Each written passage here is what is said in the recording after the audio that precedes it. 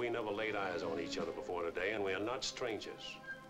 Think back to Sabine Pass and a girl named Mary. I never heard of Sabine Pass. Stay where you are. If you marry this man, you'll be a widow by sundown.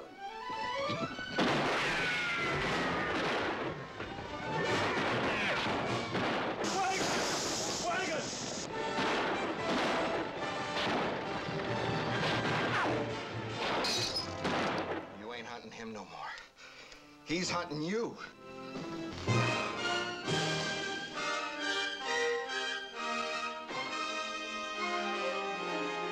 Instead of putting all the blame on Tate, why aren't you big enough to admit that whatever happened was just as much and probably more your fault than anyone else's?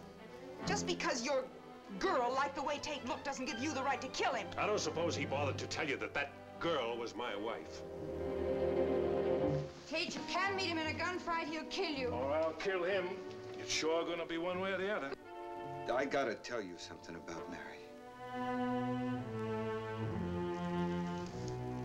She wasn't the girl you thought she was, and Tate Kimbrough, he wasn't the first man. Texan!